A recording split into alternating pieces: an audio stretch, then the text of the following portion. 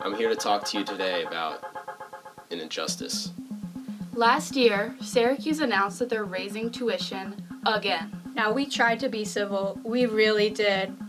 But our cries have gone unanswered. In times like this, people have a right, no, a responsibility to stand up for what's right.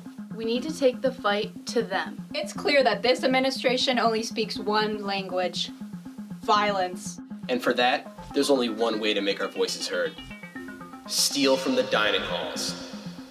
When you're done with the chicken nuggets, take the plate with you. It's the revolution. Make a difference in the world. How much do you think this plate costs? Five cents? Ten cents? Try $75,000 a year. There's your tuition, and your tuition, and your tuition. Are you listening yet, Suits?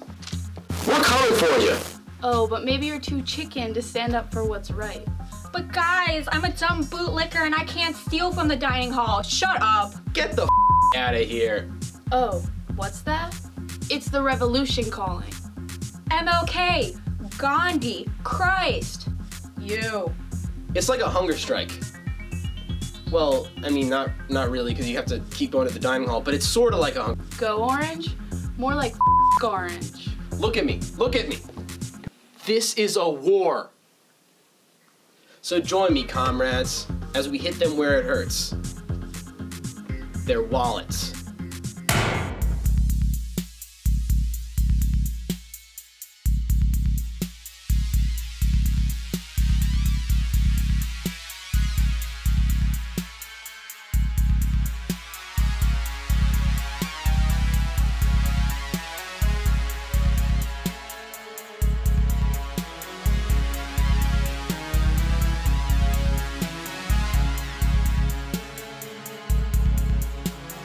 And we need you.